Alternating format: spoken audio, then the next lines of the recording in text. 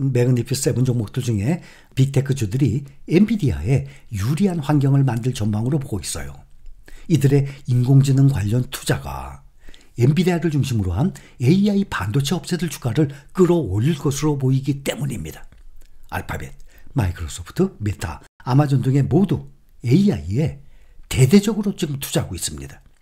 이들이 데이터 센터를 확충하기 위해서 지금껏 얼마나 투자했는지 앞으로 얼마나 더 투자할지가 실적 발표에서 윤곽이 드러나게 됩니다. 그래서 현재 시장의 기대는 높은 상황입니다. 미국 증시의 이 투자 심리를 주도하는 매그니피센트 세븐 미 빅테크 종목들 대부분이 실적을 발표하는 만큼 스포트라이트는 이들 기업으로 쏠릴 전망입니다.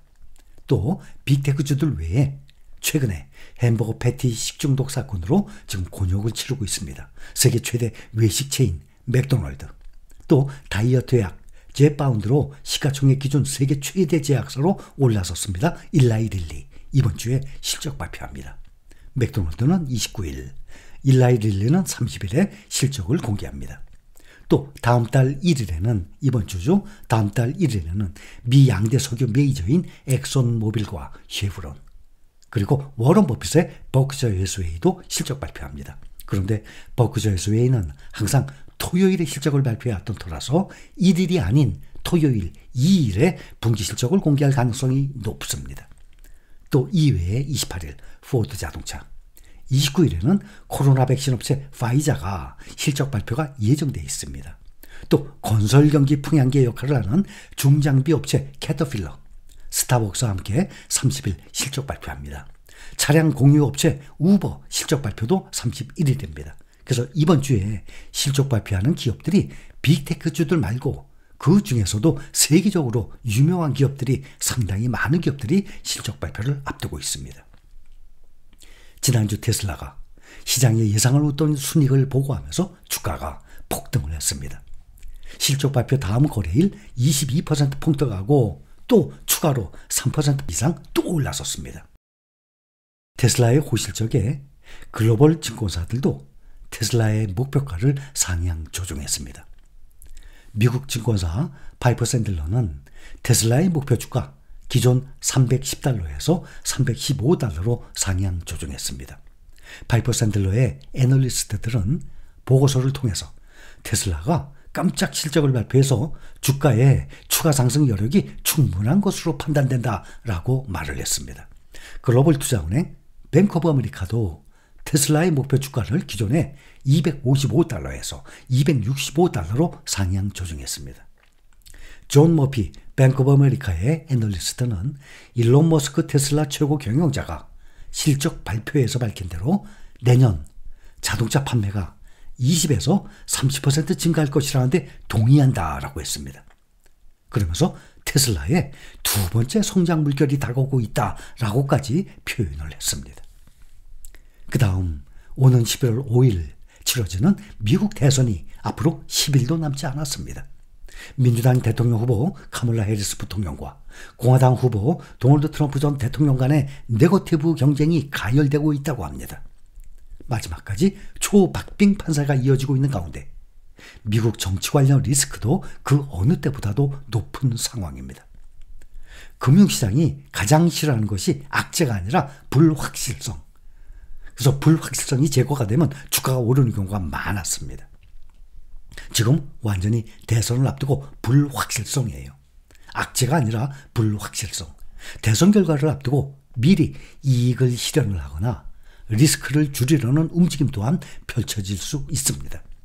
미국의 대통령 선거가 끝나면 기업들의 고용과 투자가 또 반등할 것으로 예상이 됩니다. 이번 대선을 앞두고 기업들이 투자 계획을 연기하거나 축소된 것으로 나타나고 있습니다. 과거 대선에서는 이러한 경험이 있었지만 지금보다는 훨씬 적었다고 합니다. 이번 대선은 카몰라 해리스 민주당 대선 후보가 뒤늦게 뛰어들었고 트럼프 후보와 접전을 벌인다는 것이 지금 차이점입니다. 선거를 마치고 정책 경로가 명확해지면은 불확실성은 당연히 가라앉을 것이기 때문에 고용과 자본 투자가 반등하기 시작할 수 있습니다. 사람들이 현재의 경제 약세에 혹은 내년의 강세 이것을 과도하게 해석하지 않도록 주의해야 한다라고 전문가들은 보고 있습니다. 예상대로 연준이 다음 회의에서 금리를 계속 인하를 하면 기업들의 차이 부담이 줄어들게 됩니다. 어느 당이 승리를 거두든 간에 투자 계획은 다시 재점화할 수 있습니다. 특히 대선 직후에 연준의 11월 이번에 FOMC가 있습니다. 시장의 경계감은 매우 높습니다. 11월 6일, 7일. 그러니까 대선 끝나고 난 다음에 11월 6일, 7일. 회의를 한 후 우리나라 시간으로 8일 새벽 4시경에 결과를 발표합니다. 이번 11월 회의에서 0.25% 금리 인하 확률이 95%, 금리 동결 확률 5% 수준으로 예상을 하고 있습니다. 또 이번 주에 핵심 경제 지표 발표들이 이어지고 있어요. 오는 28일부터 다음 달 1일까지 미국의 3분기 GDP 국내 총생산, 9월의 PC 개인 소비 지출, 10월 고용 수치 아주 중요한 이 경제 지표들이 나옵니다. 시장에서는 미국의 안정적인 상황을 확인하는 기회들이다라고 보고 있습니다.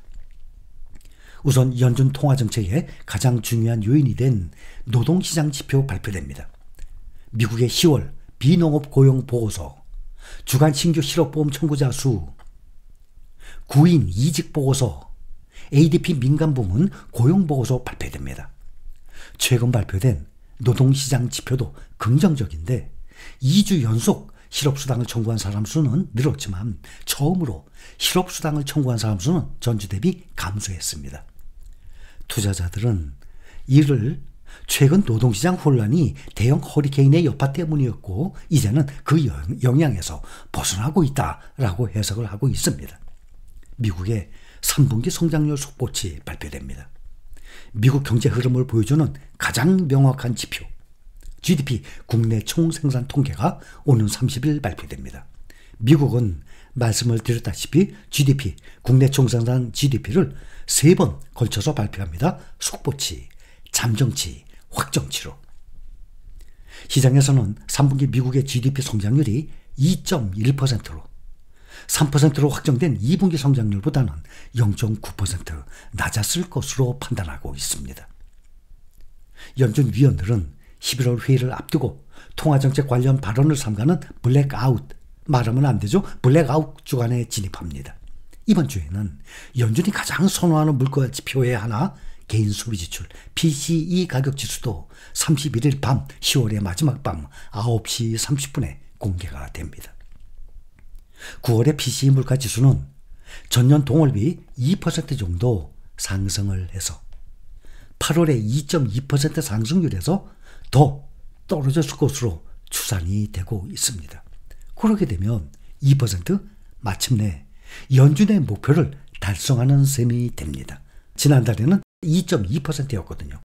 근데 이번에 또 2%까지 또 떨어지게 되면 마침내 연준의 목표를 달성하는 셈이 되는 것입니다. 자, 다시 한번 보면 이번 주 빅테크주들 실적 발표하죠.